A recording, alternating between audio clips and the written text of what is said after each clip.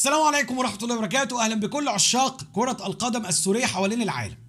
أعتقد أن أغلبكم متابع اليومين اللي فاتوا تلك الأنباء الغريبة عن انضمام عدد كبير من اللعيبة لمنتخب سوريا الأول. لاعبين كنا بنحلم إن إحنا نتواصل معاهم بس عشان يمثلوا المنتخب السوري. وفجأة نلاقيهم بيقولوا إحنا يعني عندنا حالة من الشرف ومن الفخر لتمثيل المنتخب السوري الأول. بدأنا معاكم كلام بأيهام أوسو المدافع الرائع والكبير ولاعب نادي سلافيا براج التشيكي وصاحب ال 22 عام وصاحب القيمة السوقية 2 مليون يورو. أمس امبارح تم الإعلان أيضا عن انضمام بابلو صباغ للمنتخب السوري الأول في بطولة كأس آسيا المقبلة بقطر.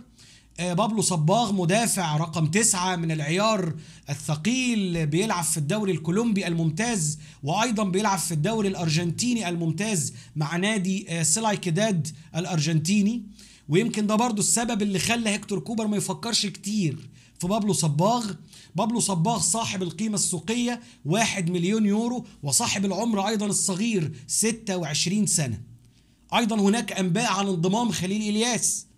هناك أنباء عن انضمام سانتياغو حزي في الأيام المقبلة وهناك أنباء عن محاولات مع محمود داوود. وأنت كمان عندك في المنتخب already موجود عبد الرحمن ويس وإيزاكيل العم وإبراهيم هيسار ومحمد عثمان. وبالتالي نحتاج لكي يحدث انسجام ما بين هؤلاء اللعيبة لعدد من المباريات الودية المتميز. مش مباراة واحدة ما ينفعش. لازم يكون عندنا أكتر من مباراة. وأنا بفتح كده صفحة الاتحاد السوري لكرة القدم الاقي قدامي إن الاتحاد السوري ثبت وبشكل رسمي مباراتين وديتين. أنا أراهم إن هما مباراتين متميزتين. المباراة الأولى مع منتخب قرغيزستان ودي هتكون في دبي في الإمارات العربية المتحدة يوم الجمعة 5 1 2024 والمباراة الثانية هتكون مع منتخب ماليزيا. هتكون إن شاء الله يوم الاثنين 8 1 2024 في الدوحة في قطر.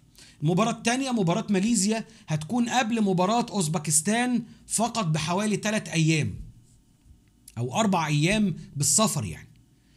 الحقيقة أن أنا من وجهة نظري المتواضعة المباراتين موفقتين جدا جدا تحديدا وإني الاتحاد السوري والمنتخب السوري.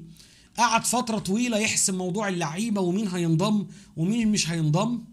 وهقول لكم في آخر الفيديو أنا وجهة نظري إيه في موضوع انضمام اللعيبة يعني. لأنه بالنسبة لي إلى الآن أنا مستغرب وأعتقد إن أنتوا كمان مستغربين. آه ممكن النهارده نسمع عن انضمام خليل إلياس. ممكن بعد كام يوم نلاقي محمود داوود بيقول أنا همثل منتخب سوريا وانتظروني في قطر. في حاجة بتحصل. في حاجة غريبة بتحصل. حاجة حلوة يعني مش وحشة يعني. المباراتين متميزتين ولأن هم شبه مباريات منتخب سوريا في بطولة كأس آسيا. إحنا عندنا أول مباراة مع أوزبكستان يوم 13 واحد الساعة 2 ونص مساء 7 ونص مساء عذرا. المباراة الثانية هتكون مع منتخب أستراليا. المباراة الأهم يوم 18 واحد الساعة واحدة ونص مساء. المباراة الثالثة مباراة الهند يوم 23 واحد الساعة واحدة ونص مساء. المستويات بتاعة المنتخبات اللي هنلعب معاها إلى حد كبير متقاربة. منتخب سوريا طبعا وبشكل رسمي هو في المركز ال 91 عالميا. كان ال 92 بقي ال 91 والمنتخب القرغيزستاني دلوقتي في المركز ال 98 عالميا. هو كان ال 97 قل درجة بقي ال 98 وإلى حد كبير متقارب جدا جدا مع منتخب سوريا. وشبه منتخب أوزبكستان. وحط تحت دي 100 خط. منتخب قرغيزستان قريب المستوى وقريب الشكل حتى وقريب الطباع وقريب في طريقة اللعب عن منتخب أوزبكستان اللي هو هنلعب معاه أول مباراة. المباراة الثانية هتكون مع منتخب ماليزيا. منتخب ماليزيا بالرغم من إن هو متراجع قوي في الترتيب هو في ال 130 على مستوى العالم. بالمناسبة منتخب ماليزيا الشهر اللي فات كان ال 137 عالميا.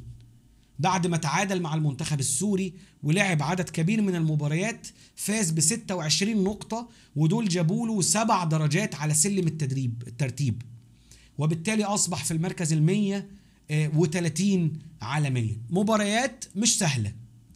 مباريات مش ضعيفة. أنا عارف طبعا إن ناس كتيرة كانت تتمنى إن إحنا نلعب مباريات مع اليابان بقى أو نلعب مباريات مع كوريا الجنوبية وده كان هيحصل على فكرة.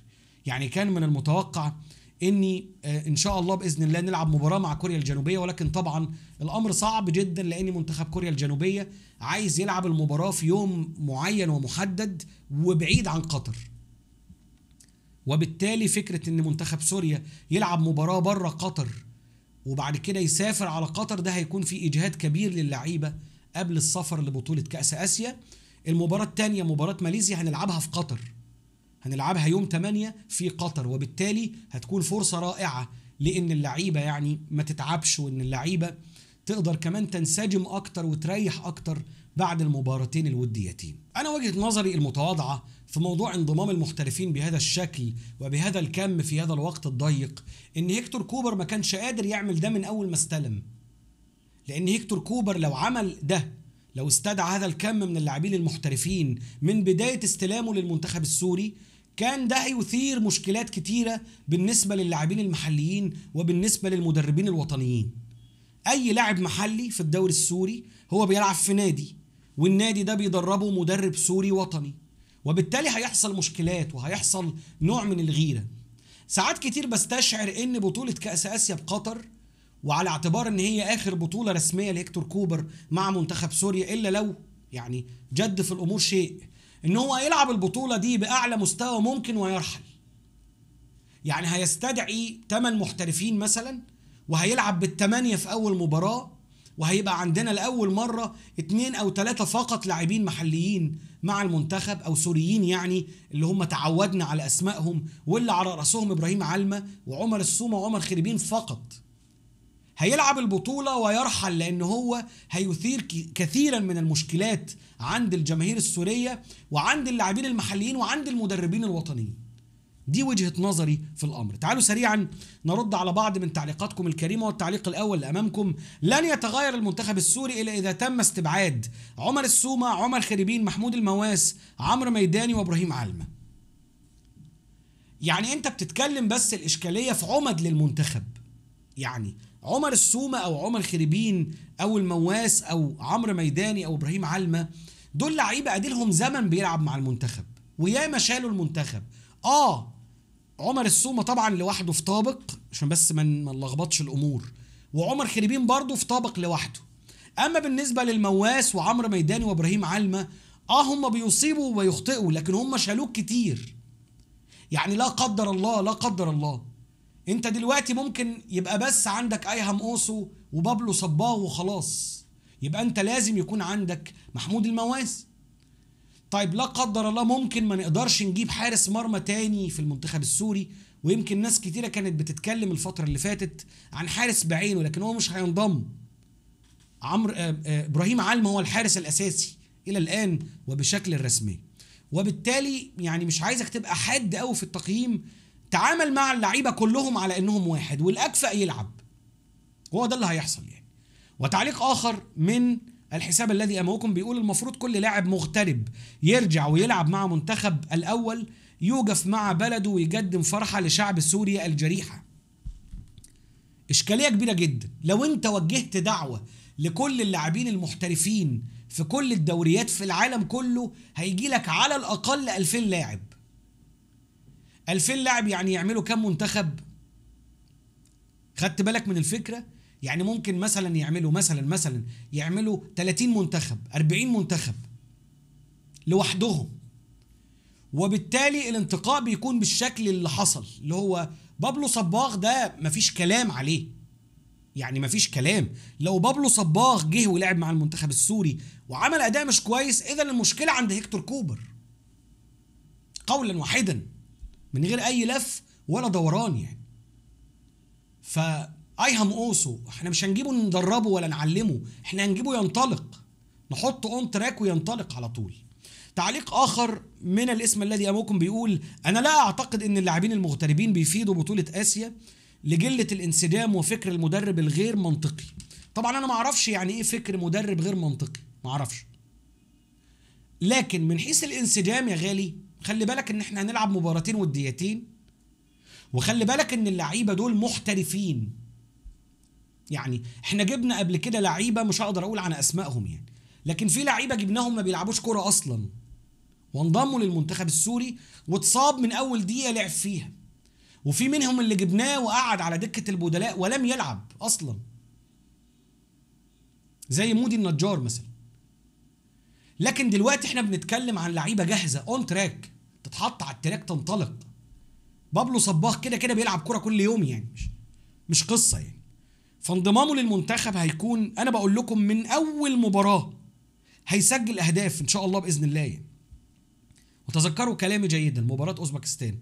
تعليق آخر من الاسم الذي أمامكم بيقول بعد إذنك يا سيدي هل هيكتور كوبر إذا جاب نتائج ممتازة سوف يكمل مع منتخب سوريا؟ بتمنى تجاوبني على هالسؤال.